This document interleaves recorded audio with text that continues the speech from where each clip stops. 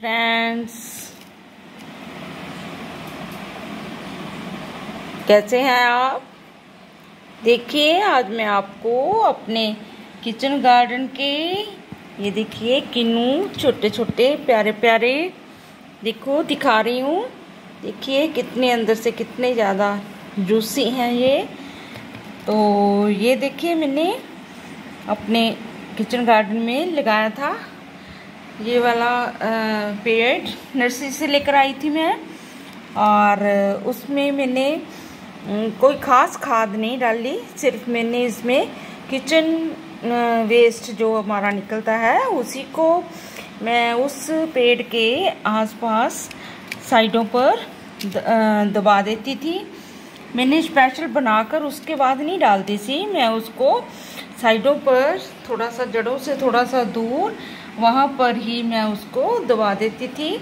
और कुछ दिन के बाद, कम से कम बस दस बारह दिन के बाद ही वो जो था जो जो मैं डालती हूँ, जो भी चीज़ डालती थी, वो मैं डेली डालती थी।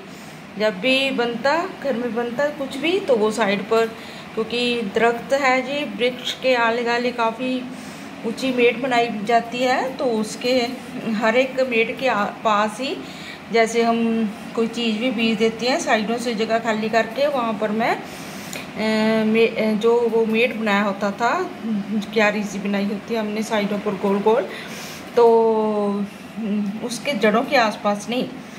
तो जब वो बन गया मे, मेरे दस पंद्रह दिन में मैं देख लेती थी कि वो बन गया है, वो बिल्कुल मिट्टी बन जाती है, उसे मिट्टू के बीच में ही मिक्स हो जाता है और वो बहुत ज़्यादा न्यूट्रिशन होता है। उसमें मैंने सिर्फ़ वो ही फिर मैं उसकी जड़ों को थोड़ा सा खोद कर गुड़ाई कर कर इसकी नुके पेट की गुड़ाई करने के बाद फिर मैं वो जो मेरे पास वो खाद बनती थी साइडों पर तो उसको मैं उसकी जड़ों में डाल देती थी और उसके बाद मैं उसमें हल्का सा पानी दे देती थी। लेकिन आपको पता होगा कि कीनू के पेड़ में पानी की कम ज़रूरत होती है। इसको पानी तभी दिया जाता है जब जी इसकी जो वो होती है मिट्टी होती है वो सूख जाती है। देखिए ये कितने अच्छे और कितने प्यारे ये दिए हैं। तो काफ़ी मैं खा भी लिए हमने। इसका जूस भी बनाया हमने जूस पिया बनाकर और बहुत टेस्टी और हेल्दी है ये। जब हम अपने किचन गार्डन का अपने खुद उगाए हुए पेड़ का खाते हैं पीते हैं कोई चीज़ तो हमें बहुत खुशी होती है। सो so, फ्रेंड्स अभी भी उस पर काफ़ी लगे हैं। कहीं मैंने वीडियो भी डाली है उसकी। तो आज मैं ये इतने सारे उतार कर लेकर आई हूँ। कुछ तो नीचे गिर गए थे ये जैलो वाले तो।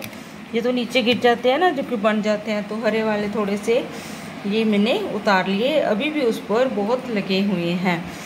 तो फ्रेंड्स आप भी ऐसे फलों वाले वृक्ष लगाएँ और इसका फ्रूट खाएँ। तो फ्रेंड्स मेरे चैनल को सब्सक्राइब कीजिए। नए नए फ्रूट्स के जो मैं लगाती हूँ प्लांट्स उनके बारे में बताती हूँ, सब्जियों के बारे में बताती हूँ। अपनी जो मेरे मेरी जानकारी होती है, मेरे एक्सपीरियंस है, मैं आपके साथ शेयर करती हूँ। इसमें मैंने कुछ भी नहीं डाला सिंपल किचन वेस्ट डाली है और ये मैं कम से कम साल हो गया, साल तक मैं इसमें डालती रही हूँ। ऐसे नहीं है कि एक दो दिन में डाली है। अच्छी डाली है तो देखो कितना अच्छा फ्रूट आया है। सो आप भी उगाएँ और ऐसे टेस्टी ऑर्गेनिक फ्रूट खाएँ। थैंक यू फ्रेंड्स मेरी वीडियो को देखने के लिए आपका बहुत बहुत धन्यवाद। मेरे चैनल को सब्सक्राइब कीजिए लाइक कीजिए और शेयर कीजिए। थैंक्स